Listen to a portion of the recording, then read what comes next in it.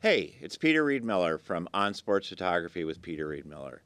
Today I'm going to start uh, what I think is going to be a three part series talking about photography, where it's going, where it's been, uh, a little bit about Sports Illustrated, its demise, its glory years, um, and just sort of the whole field and, and, and where we're at, the state of the art right now.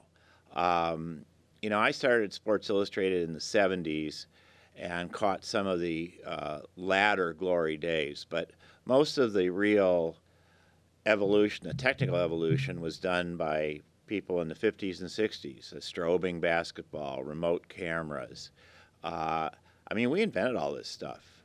We had our own channel frequency for radios. We had uh, special cameras made. John Zimmerman had the camera with the split lens so you could shoot above and below the water.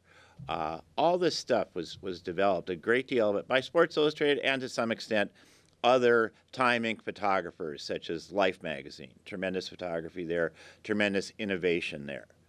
Uh, that's all pretty standard now. In fact, a lot of it isn't even needed. Uh, strobes for basketball, strobes in the ceiling for basketball. Very rarely does anybody use those anymore.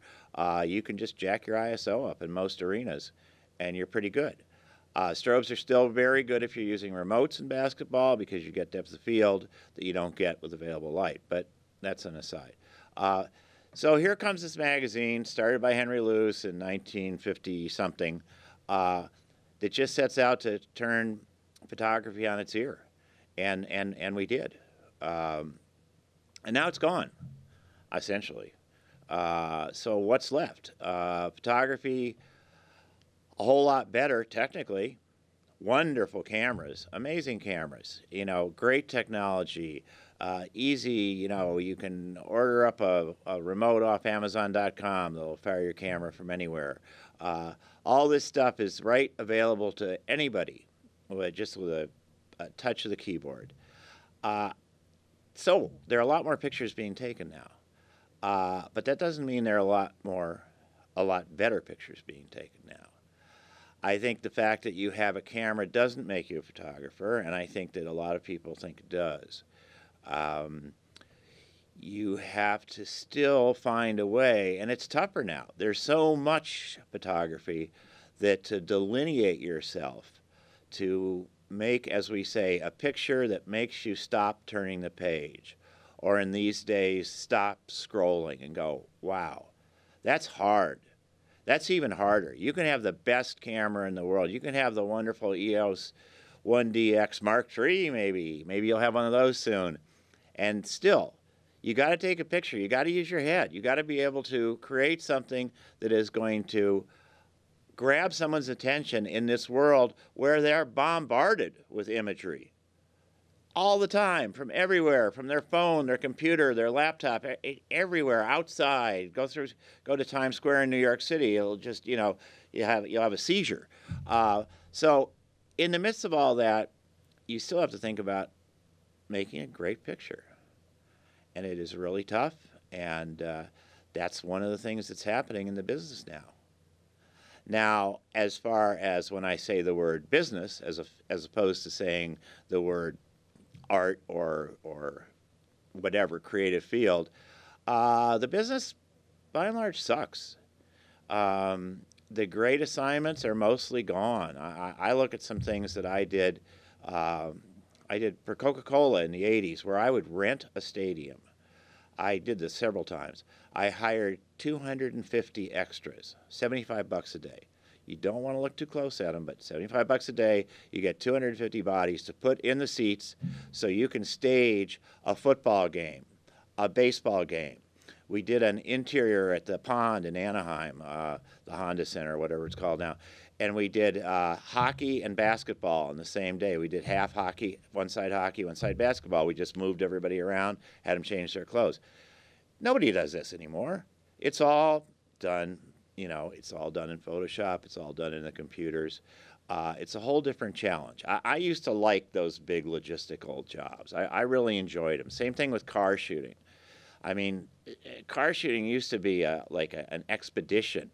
You'd spend two weeks in, in some desert location only working two hours a day, the golden hour, dawn and dusk, sleeping the rest of the day or getting ready. Uh, now that's not really happening. Um, I'm not a car shooter. I don't know the specifics, but I know things are a lot different. Most everything can be done with CGI now. So again, here's a, here's a skill, here's a talent that was then, and it's no longer now. Um, but on the good side, their photography is accessible. Photographs are more accessible. Uh, I have a friend who played uh, all through high school football and uh, three years of college football, and has three pictures of himself playing football. Now, every every child who plays any sport whatsoever, if they don't have professionally shot pictures, they have pictures shot by their parents that are pretty near as good as the professionals. So, in that sense, this is good. Everybody, photography for the masses. But uh, as as a, earning a living as a photographer, that's a lot tougher. Um, there are too many people with too many cameras, and I believe Instagram has sort of poisoned the well in terms of what people think is a good picture. A picture that you look at on your phone sometimes can be very arresting, but is it really a great picture? I think it's kind of hard to tell a lot of the times. But people are very accepting, and people like a lot of pictures that, you know, wouldn't have been made 10, 15, 20 years ago. So I think that's another place. Uh, obviously, the money isn't there anymore.